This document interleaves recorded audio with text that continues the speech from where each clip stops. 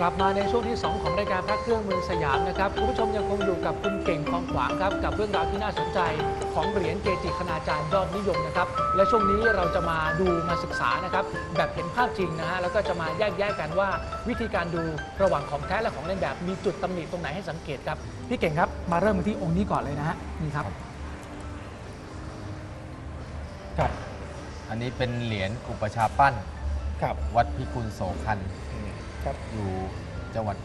นครศรีอยุธยา ครับพี่เก่งพอแนะนำประวัติท่านสักเล็กน้อยได้ไหมฮะว่าท่านเก่งเรื่องอะไรยังไงฮะประวัตินะฮะครับท่านเป็นพระเก่า ครับซึ่งประวัติประวัติความเป็นมาเนี่ยจริง ๆ ผมก็มองตัวว่าคือครับ เราเราไม่รู้แต่ว่ารู้ว่าท่านเนี่ยเคยเหมือนกับเคยอยู่ที่พิษณุโลกอ๋อพิษณุโลกมาก่อนแล้วก็คือไม่ได้มีการบันทึกเอาไว้เป็นรายละอักษเอรอใช่นะฮะครับผมประวัติท่านจะครับ จะจะจะคนรู้น้อย อืมคนจะรู้จักน้อยเหรียญนี้ ครับแล้วท่านเก่งเรื่องอะไรฮะ ก็คงกระพันคงกระพันอ๋อครับเน้นไปทางเหนียวนะฮะเน้นครับผมอะเหรียญท่านวิธีการดูพิจารณาดูตรงไหนยังไงฮะเหรียญนี้ฮะเป็นเหรียญลักษณะเป็นเหรียญปั๊มปั๊มกระบอกห่วงเชื่อมครับ ด้านหลังจะลงพศ2466 ครับ เป็นซึ่งเป็นเหรียญเหรียญงานลักษณะคล้ายกับพระทางราชบุรีที่ที่ที่เราเห็นเห็นกันนะคทารังบสมุทรสาครสมุทรสงครามลงไปทางนั้นทางราชบุรีนะฮะเป็นงานเดียวกันครับผมแต่เป็นเหรียญหายากค่อนข้างจะหายากครับมากๆใน ในท้องตลาดที่ครับ ผมเล่นมา 20 กว่าปีเพิ่งเจอเหรียญนี้เป็นเหรียญที่สองครับนะฮะแล้วแล้วมีตำหนิมีตรงไหนไหมฮะให้สังเกต ตำหนิฮะตำหนิเอ่ออันดับแรกคือต้องดูความคมชัด อันดับแรกอันดับหนึ่งเลยคือ ครับ เหรียญถ้าจะมีมิติจะคมตัวหนังสืออักขระยันต์ทุกตัวจะคมชัดครับผมครับผมอืมห่วงหน้าห่วงตาเป็นท่าเชื่อนมนะก็ออชัดเลยนะฮะห่วงเป็น ก็คือโอ้เป็นเชื่อมเงิน ปั๊มขาดแล้วก็เอาห่วงมาเชื่อมทีหลังอ่าเชื่อมเงินทีหลัง ครับผซึ่มงเป็นการปั๊มแบบสมัยโบราณ นะฮะด้านหลังครับพี่เก่งสังเกตดูตรงยันเนี่ยเหมันมีรอยเนี่ยเหมือนเป็นอ๋อเป็นรอยแตกแตกแล้วซึ่งต้องมีเกิดจากทุกบอล็งอก ค์ไหม ไม่จำเป็นครับไม่ผมจำเป็นต้องเป็นทุกองค์อาจจะเป็นหลังๆที่บล็อกเริ่มแตกที่บล็อกเริ่มแตก อ๋อนะครับถ้าไม่มีก็ไม่ได้ถือว่าผิดกติกาอะไรใช่ไม่มีก็ก็คืออาจจะเป็นอาจจะมีอาจอาจจะจะเป็นแป๊บแรก สองสามร้อยองค์ที่ไม่แตกใช่ตอนแรกใช่นะใช่ ฮะครับผมแล้วมีความมีความมีมีผลในการนิยมสะสมไหม ๆไม่มีผล ครับไผม คือดูสวยงามดูสวยอย่างเดียว นะครับสวยมาก ครับปัจจุบันนี้ของเล่นแบบนี้ไหมฮะ มีเหมืมีอนเยอะมาก แล้วงานดีไหมฮะยังไม่ดีเท่าไหร่ ครับผมถ้าคนเคย ถ้าคนเคยเห็นตัวจริงแล้วจะรู้ว่าไม่เหมือนเออนะครับสำคัญคือต้องมาหาตัวจริงดูให้ได้ครับก่อนหาตัวจริงให้ได้ก่อน แต่ว่าหายากนิดนึง อืมครับ ครับอะต่อไปครับพี่อันนี้เป็นเหรียญพระอุปชฌาย์กลานวัดโคกโพครับ จังหวัดสระบุรี ครับแนะนำเรื่องราวท่านสอสอสักนิดหนึ่งให้คุณผู้ชมได้รู้จักท่านครับ เรื่องแล้วคือท่านเป็นพระพระเกจิ ยุคเก่าระดับเรียกว่าเป็นพระยอดนิยมของของคนสระบุรีมากครับอันนี้ถ้าถ้าจะคือคนเราจะนับถือท่านมาก อ่าครับ เป็นเป็นเรียกว่าเป็นเหรียญเบอร์เบอร์ต้นๆของอ๋อ ยอดนิยมเบอร์คือสมต้มนติถ้าจัดเบญจภาคีเหรียญสระบุรีนะติดแน่นอน ๆอันนี้คืออันดับหนึ่งเลยนะฮะถ้าถามว่าอันดับหนึ่งก็ได้เออก็ได้ครับผมครับครับอันนี้ผม เป็นอันดับหนึ่งของสระบุรี ครับท่านเก่งเรื่องอะไรฮะ ก็คงถ้าที่ผมได้ยินมาก็คือเรื่องเรื่องคงกระพันแน่นอนคือพระยุคสมัยก่อนนะสมัยก่อนเนี่ยคือครับถ้าไม่เรียกว่าไม่ไม่เหนียวจริงไม่ดังอ่าไม่จะไม่ดังอะอ่าครับผมครับต้องมีประวัติเรียกว่าต้องโดนกันเยอะๆ ถึงจะครับถึงจะ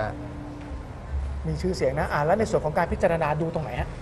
เหรียญรุ่นนี้เท่าที่ผมเห็นเนี่ยยังไม่เห็นมีเกณฑ์นะอ๋อยังไม่มีทำเรียนแบบครันะบซึ่งครับซึ่งหา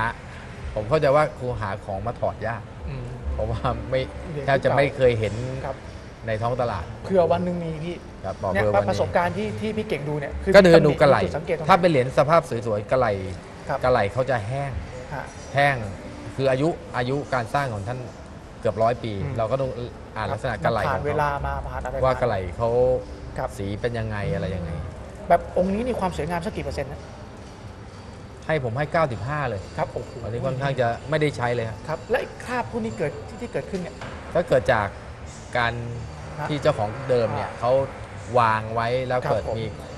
คราบอะไรต่างๆ มามีเกาะความชื้นมีอะไรเปลี่ยนแปลมาความงชื้น เพียงแต่ว่าความสวยงามโดยธรรมชาติก็ไม่ได้ถือว่าลดลงไปเลย ไม่ได้ลดนะฮะนะฮะคือ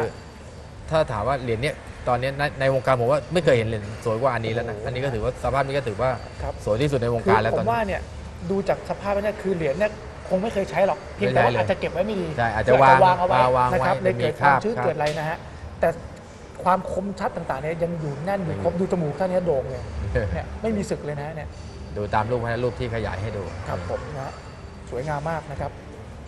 ตรงนี้อันนี้ผมด้านครอบด้านหลังครองไว้มีนะจุดสังเกตไหมฮะด้านหลังด้านหลังเนี่ยจะมี 2 แบบเออลืมอธิบายอ๋อครับผมก็คือถ้าเป็นอีกแบบหนึ่งก็คือจะอันนี้จะเป็นหลังแบบหลังตัวหนังสือครับผมซึ่งจะจะเขียนวัดเขียนพศชัดเจนอ่าครับ แต่จะมีอีกแบบหนึ่งที่ที่หายากกว่านี้อีกหายากครับอีกคือจะเป็นหลังรูปสักคล้ายนกยุง อ๋อเป็นรูปนกยุง ครับผมซึ่งที่ผมเคยเห็นเนี่ยส่วนใหญ่จะมีแต่เหรียญเงิน อ๋อที่จะเป็นหลังนกยุงนะครับ ครับผม ซึ่งหายากมากแต่สร้างมาวาระเดียวกันไหมๆว่าละเหมือนกัน ครับอาจจะสร้างในกรณีพิเศษ ทำไมถึงได้เป็นนกยูงพี่มีนัยยะมีอะไรไหมอันนี้ผมไม่รู้นะ ต้องรับถามผคนพื้นที่ นะฮะนะครับ หรือท่านอาจจะเลี้ยงนกยุงหรือเปล่าอ่านะฮะอ่าน่าจะหรือน่าจะเป็นอจะย่างเป็นนั้นนะครับผมอะต่อไปครับนี่ฮะอันนี้เหรียญเป็นเหรียญอุปชฌาย์หลวงพ่อกล่อม ครับ วัดโพธาวาสครับ สุราษฎร์ธานี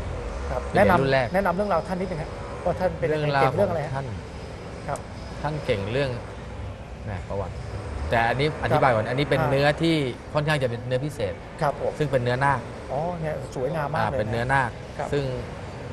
เป็นเป็นเนื้อที่หายากมากๆในวงการ ครับ เพราะอย่างที่เราเจอพบเห็นคือเป็นเนื้ออัปาก้า ครับผมนะฮะส่วนเรื่องประวัติของท่านเนี่ยแม้เดี๋ยวแม้แต่สมัยนี้เราก็แทบไม่เคยเห็นพระที่สร้างด้วยเนื้อนาคเลยนะ เนื้อนาคใช่หายากมากครัหาบยากผม ยากมากมากครับคร่าวๆครับพี่ว่าท่านเก่งเรื่องอะไรยังไงฮะพุทธคุณเหรียญท่านทางด้านไหนๆฮะ เขาก็ก็คงคงกระพันนะครับอ่าคงกระพันครับผม แนวแนวเดียวกันแล้วพระโบราณครับ ครับ ของเล่นแบบนี้ไหมฮะเยอะ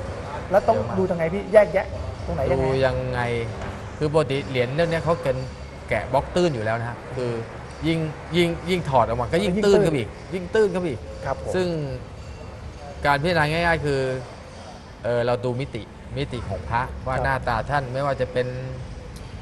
ดวงตาครับผม หรือว่าจมูกหรืออะไรเงี้ยครับ คือมันจะมีมิติเป็นร่องเป็นลึกครับผม แล้วก็ผิวเหรียญเนี่ยเห็นจะมีสายฝนวิ่งนะฮะอ่าเป็นแล้วผิวเหรียญ จะครับครับ จะมีเป็นสายฝน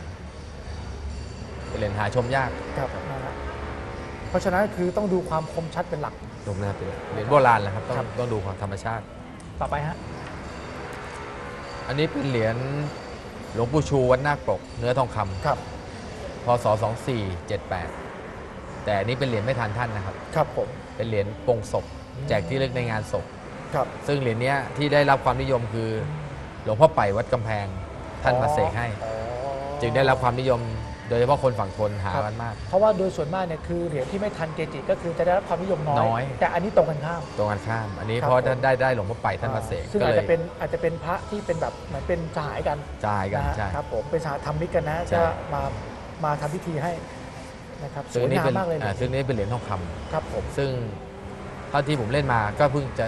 เจอเหรียญนี้เหรียญแรก ครับคือทองคำทั้งองค์ด้วยทั้งคือไม่ทั้ใช่งองค์ ว่าหน้ากากทองไม่ใช่นะ ไม่ใช่เป็นทองคำทั้งองค์ ซึ่งครับ ซึ่งเป็นงานเดียวกับ เหรียญหลวงปู่เอี่ยมวัดหนัง ครับผมเป็นเขาเรียกเหรียญฉลุครับผมเหรียญฉลุอืมคือมาประกบครับทั้งหมดเอประสามกบชิ้นสามชิ้นใช่ดูหรูมากคุณผู้ชมสวยงามมาก เป็นงานที่โอ้โหสั่งทำพิเศษครับผมอาจจะเป็นเหมือนกันนะคนจัดสร้างที่ที่ผมได้มาคือประวัติเขาท่านบอกว่า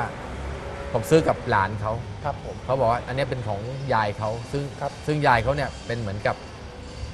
เอ่อคนดำเนินการสร้างครับผม เขาเลยมีทำพิเศษขึ้นมา อาจจะมีไม่มากอะครับแต่จำนวนผมไม่รู้นะแต่ว่าน้อยมากครับผมเพราะว่างานแบบนี้สมัยก่อนเนี่ยโอ้โหๆโหคนที่ทำแบบนี้ก็คือต้องคนมีฐานะนิดนึใช่งถูกต้องนะใช่ครับผมเหมือนเหรียญวัดหนังนะครับมันนะแล้วคนสร้างก็ต้องเป็นลูกศิษย์ที่ศรัทธาท่านมาใช่กนะถึงได้ต้องต้องแบบทำแบบสวยงามขนาดใช่ทำแบบนี้นี้ครับเป็นเหมือนการให้เกียรติครูบาอาจารย์นะใช่นะครับผมอะต่อไปครับเนี่ยอันนี้เป็นเหรียญหล่อพิมพ์จอบแซยิก ของหลวงปู่รอดวัดบางน้ำวน2477ครับสมุทรท่านเก่งเรื่องไหนสมุทสาครก็เหนียวโอ้คนนี้ถ้าครบถ้าคนเลยมหาชัยเขาจะครับจะจะรู้ดี นี่เป็นเหรียญหล่อนัมเบอร์วันของของมหาชัยแล้ว อืมครับผคือมจะเรื่องคงกระพันนี่สุดยอด ครับผมครับ นะฮะด้านหลังครับเป็นไงฮะหลังเรียบเรียบไม่ครับมีอะไรผมฮะหลังเรียบแต่ว่าเรียบส่วนใหญ่ก็จะมีร่องรอยของอ๋อร่องรอยโลหะแบบนี้ทุกองโลค์ หะคือคือจะเป็นเป็นลักษณะเหมือนกับเอ่อพระหล่อพระหล่อครับผมคือด้านหลังเนี่ย โดยธรรมชาติคือการยุบตัวของโลหะไม่เท่ากันนะเอ่อไม่เท่ากันเวลาครับโลหะแห้งตัวก็จะกดครับ ตัว ก็จะเป็นลักษณะเป็นคลื่น ครับหรือบางอันเนี่ยสังเกตด้านหลังอะคือจะมีคล้ายๆ มีเศษโลหะมาแปะ อ๋อซึ่งเหรียญหล่อเนี่ยคือเขาบางมาก ครับเวลาหล่อเนี่ยส่วนใหญ่หล่อแล้วจะมีรูทะลุอ๋อ เขาก็เลยเอาเนื้อทองทองเศษทองแปะทองเหลือปิงดมารูนั้นมาซะปิดรู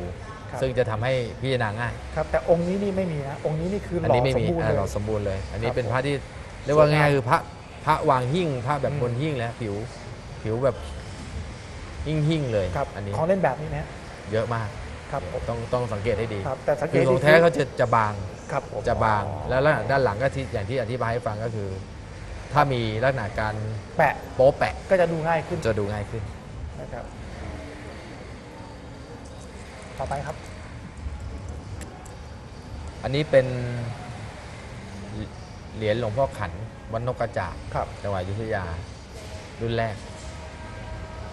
นี่ก็พระสายเหนียวอีกอีกองค์หนึงเหมือนกันครับผม สายเหนียว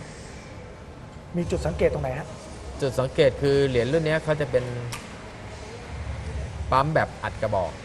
เหมือนเหรียญหลวงพ่อกันครับ คือลักษณะด้านหลังเนี่ยอาจจะมีครีบปิ้นบ้างเล็กน้อย ที่เกิดจากการปั๊ม ครับ ต้องต้องให้เห็นนะครับต้องมีต้องมีนะต้องมีครับ ต่อไปครับ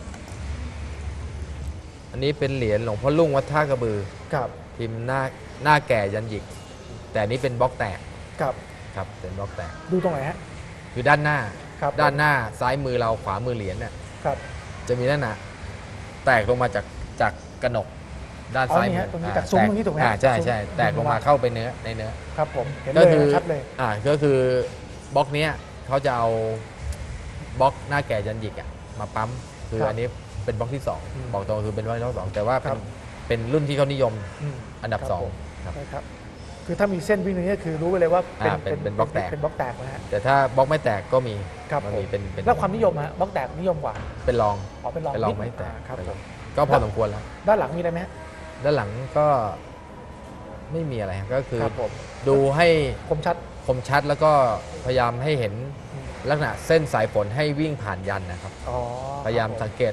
ในมิติในร่องลึกๆนะฮะถ้ามีเสี้ยนเนี่ยอ่าอ่าก็มีโอกาสอ๋อนี่ที่ชัดเลยฮะ อ่าเป็นเส้นแนล้ววนอนนี้นะวิ่งก็มีทั้งแนวนอนทั้งแนวขวาง ครับผม แล้วนะด้านหลังเนี่ยจะมีครีบครับ เหมือนกับเป็นเนื้อเกินอยู่โดยรอบ อ๋อส่วนใหญ่ ฮะก็จะแท้ ต้องดูความเรียบร้อยนะครีบครับ ต้องเรียบร้อย ต่อไปครับอันนี้เป็นเหรียญพระธาตุทองคำครับจังหวัดนครศรีธรรมราช 2460 ครับหรือบางคนเขาก็เรียกว่าเหรียญตรีศูนย์ครับครับ อันนี้จะเป็นเอ่อเป็นเหรียญที่รวมเกจิสายภาคใต้ทั้ง ที่ดังที่ดังเออๆไม่ว่าจะเป็นพ่อท่านสังเท่าที่ครัผบมรู้ประวัติมามีพ่อท่านสังพ่อท่านสังเนี่ย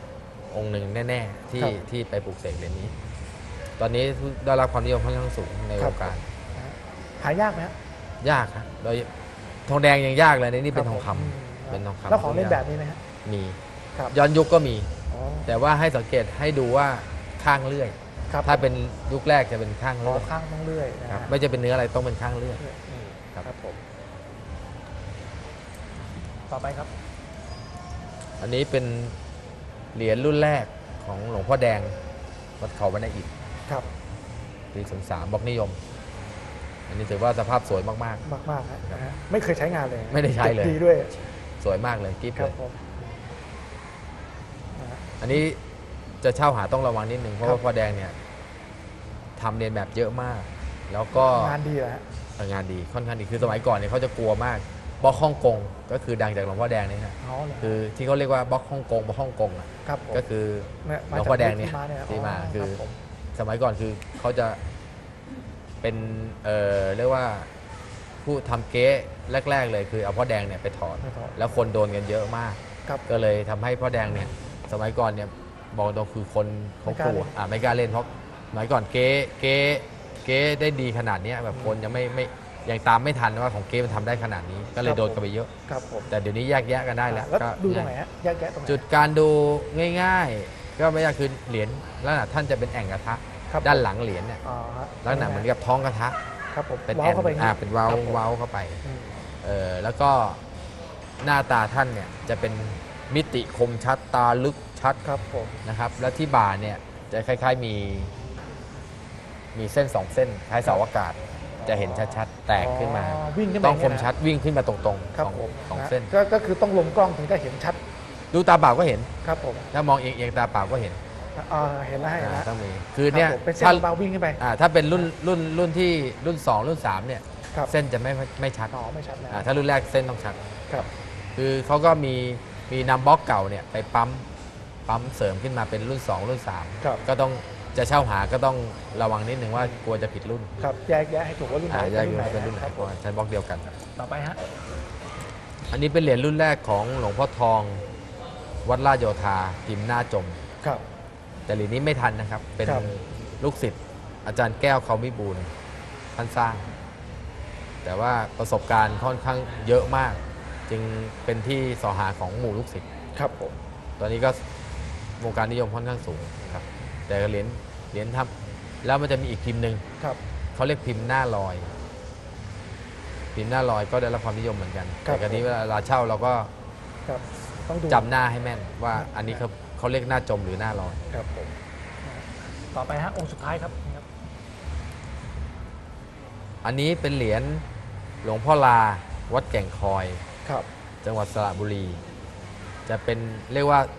คู่ขี้กับองค์เมื่อกี้ที่ผมอธิบายที่คือเป็นอันดับหนึ่งอุปชากรานครับผมวัดโคกโพคือ 2 องค์เนี้ยเกจิโอสององค์เนี้ยจะเป็นอันดับต้นๆของสระบุรีครับบางท่านก็ว่าหลวงพ่อลาเบอร์หนึ่งอืมบางท่านก็ว่าพ่อการเบอร์หนึ่งครับซึ่งเอาเป็นว่าเอาเบอร์หนึ่งทั้งคู่เลยแล้วกันทั้งคู่ครับผมเป็นพระที่หายากของจังหวัดสระบุรีครับและสภาพค่อนข้างแชมป์ครับแล้วจุดในส่วนสังเกตมีตรงไหนฮะตำหนิจุดสังเกตตำหนิครับก็คือเหรียญของท่านเนี่ยเอ่อ จะเป็นเหรียญหูเชื่อม ครับ ปั๊มกระบอกข้างเรียบครับข้างเรียบ เป็นเหรียญหูเชื่อมเงิน สังเกตง่ายๆ คือหลังเนี่ยหลังยันตรงยันอัคระเออตรงยันเนี่ยจะมีเส้นแตกชัดๆเลยครับ เส้นแตกตรงยันตัวอุครับผม นะมันจะชัดมากเห็นไหมฮะครับ ต้องมีเส้นแตกตรงเส้นยันแตกกัน ครับผม ด้านหน้านะฮะด้านหน้า ด้านหน้า เน้นคมชัด อืมก็ต้องครับเน้นคมชัดครับผมด้านหน้าไม่มีตำหนิตรงไหน คือดูความคมชัดธรรมชาติครับครับผมนี่เดี๋ยวนี้ไม่ค่อยไม่ค่อยไม่ค่อยพบเจอ ครับผมแท้ยังหายากเลยเก๊กไม่ค่อยได้เห็ไม่นค่อยมีนะฮะ แต่ก็แต่แต่ก็ลองระวังไว้ก่อน ครับผมเป็นความรู้เอาไว้นะฮะแหมวันนี้นะครับเรียกได้ว่าเราก็ได้รับความรู้นะครับในเรื่องราวของพระเหรียญคณาจารย์ยอดนิยมนะ จากคุณเก่งของขวางไปมากมายเลยทีเดียวนะครับ คุณผู้ชมก็จะนำสาระความรู้ต่างๆนะครับ ไปต่อยอดกัน วันนี้ขอบคุณพี่เก่งของขวางมากยินดีๆครับนะครับที่มาแนะนำเรื่องราวนะครับ ที่น่าสนใจของพระเหรียญคณาจารย์ยอดนิยมครับครับขอผมณครับคุณผู้ชมครับ ช่วงหน้ามีเรื่องราวที่น่าสนใจรออยู่นะครับ พักสักครู่เดียวครับ